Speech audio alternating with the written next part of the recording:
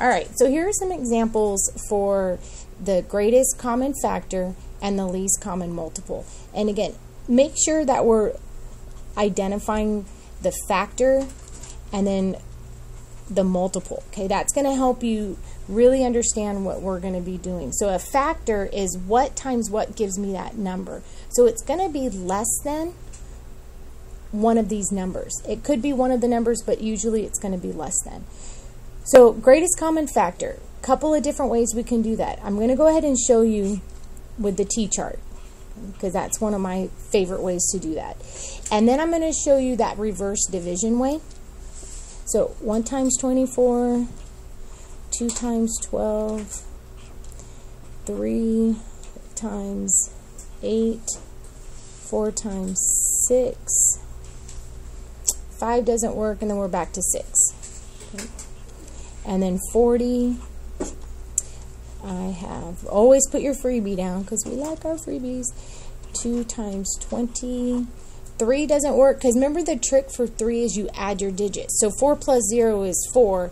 4 is not evenly divisible by 3. And then I'm going to do 4, 4 times 10, 5. Now I know 5 works because it ends in a 0. Okay? That's our divisibility trick. If it's 0 or 5, you know it's divisible by 5. And then so it's 5 times 8. 7 doesn't work six doesn't, all right, seven already doesn't work. 8, oh, we're already repeating. So we're done. So what I'm going to do is look for my greatest common factor. So here are all of my factors. I'm just going to go back, like I know these are my greatest, so I'm just going to kind of go down and see which one is the common. So 24, 40, 12, 20, 8. Oh, there's an 8, and that's the first one that shows up. Okay. So my greatest common factor is 8. Now, I'm going to go ahead and show you this is another way. There's actually three different ways we can find it. I'm just going to show you this other way. Uh, you could do your prime factorization and then circle the ones that are in common. But this way is what we call like the birthday cake way or the reverse division. You will not find this way in your textbook, and that's why I'm doing this example. So the first step is to make your layer. And you should have this in your notes. So you make your layer. And then I'm going to look at what number can I factor out from that. Oh, they're both even, so I know I can divide out by a 2. 24 divided by 2 is 12. 40 divided by 2 is 20. I'm going to make another layer. What other number can I factor out? Oh, they're both even, so I'm going to factor out a 2. 12 divided by 2 is 6. 20 divided by 2 is 10. And they're even again, so I can factor out another 2. And remember, our bench always helps us to start off with what numbers we can factor out. 6 divided by 2 is 3. 10 divided by 2 is 5. Okay, now there's nothing else I can factor out, so we're done. So what you need to do is off to the side, you fact you circle those numbers. And then you multiply. Our greatest common factor is going to be 2 times 2 times 2. 2 times 2 is 4, 4 times 2 is 8. So our greatest common factor is 8.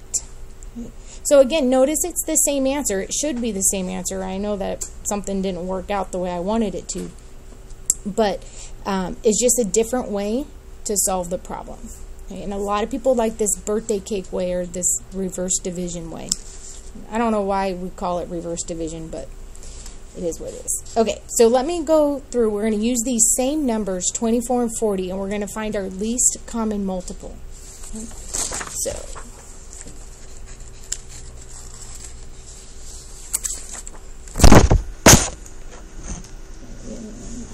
you would have already had this set up. So, so find the least common multiple of 24 and 40. So again, a couple of different ways you could do it. You could list out your multiples, um, 24 and 40. Okay. So 24, your freebie is 24. This is your, so 24 times 2 is 48. 24 times 3 is, I'm going to do that old school off to the side because I can't figure that out right now in my head. I don't want to think that hard. So 72.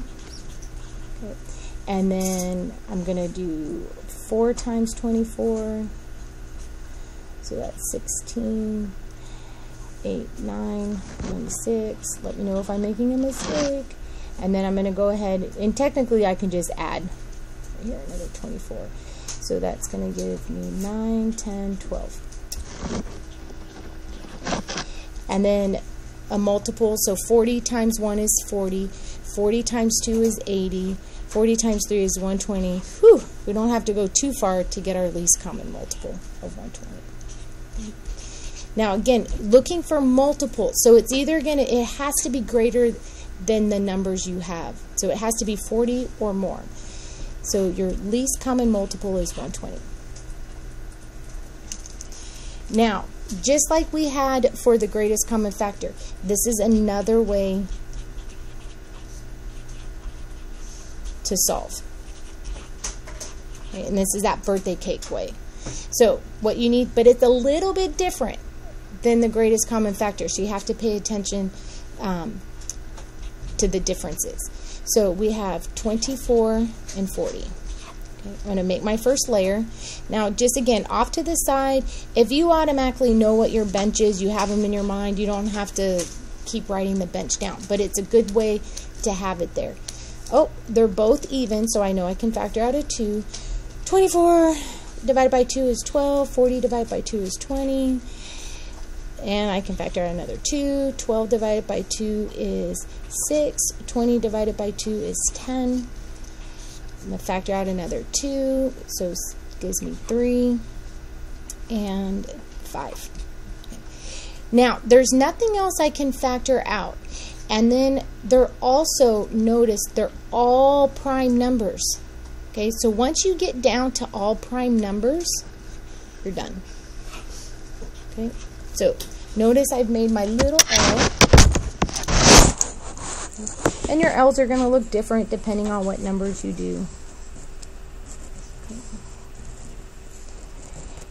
And then to find your least common multiple, all you need to do is multiply. So you're going to multiply 2 times 2 times 2 times 3 times 5. Notice those are the same numbers right here. 2 times 2 is 4. 4 times 2 is 8. 8 times 3 is 24. 24 times 5. I'm going to just do that off to the side. I kind of already know what it is, but I'm going to show you the work just in case. Oh, 120. So my least common multiple is 120. Okay, again, notice it's the same thing as we got up here by listing them out. This is just another way that people like that's kind of structured. Um, if you like this way, do that. Um, it really works nicely if you have more than two numbers, and um, we'll practice those.